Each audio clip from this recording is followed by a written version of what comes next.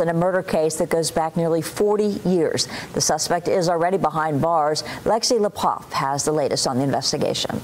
62 year old Roger Udy is now charged with the murder of Billy Wayne Herron. Udy is currently serving time in a Tennessee state prison for a separate homicide. Police say Herron was found dead in his Maryville home in 1985, suffering approximately 70 stab wounds and blunt force trauma to the head. Herron was a disabled Navy veteran and only 28 years old when he was killed. He left behind 14 siblings, and police Police say his family never stopped seeking justice. They are able to have some closure.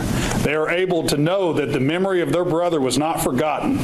Uh, yes, it took a lengthy amount of time, but he was never forgotten, not by the investigating officers and not by the community in Blount County, not by the city of Maryville. Maryville police say they are committed to investigating unsolved cases and bringing closure to families. For this case, police say someone came forward with a new tip in the past year. That combined with new technology led to the breakthrough and arrest.